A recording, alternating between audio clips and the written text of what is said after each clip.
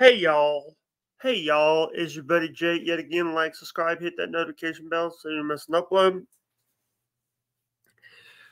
Um, I hate making these videos. We lost another wrestler. Um, we lost Bray Wyatt. Bray Wyatt, former world champion. He was part of the Wyatt family. He was he was known as Husky Harris in um, NXT in um my heart, my prayer, our prayer here at HW here at Plot All Productions and HWO Nation. We are sending our we're sending our deepest condolences. We're sending our heart, our prayers, our hearts, and our deepest condolences to the Roton family.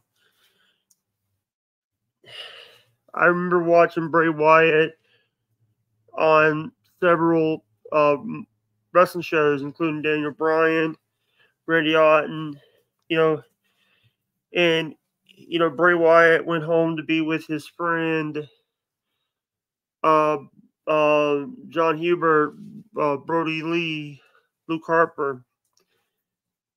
Rest easy, my friend Bray.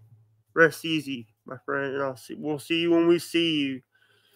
Thank you for everything you've done in in the in the WWE community, and have a nice day.